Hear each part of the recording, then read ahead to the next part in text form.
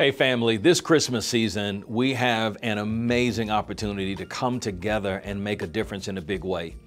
Now, I've been talking a lot about our amazing food pantry, and this Christmas, our food pantry is aiming to feed 200 families in need, but we need your help to make it happen. Imagine the joy and the relief your generosity can bring to somebody struggling this holiday season.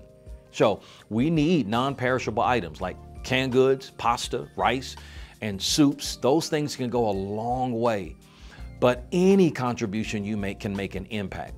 And so I'm appealing to you because the very last Sunday to drop off your non perishable donations is this Sunday at any one of our TWC campuses.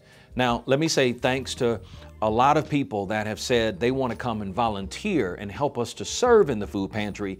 And so we're at capacity with people that want to serve but we're not quite at our goal with the food that we need and the non perishable items that we need to serve the 200 families.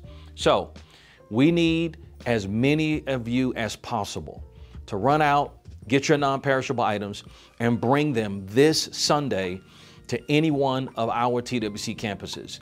Together, family, we can spread the hope of Jesus Christ and share the love of Christmas with those who need it the most. So, family, we need you.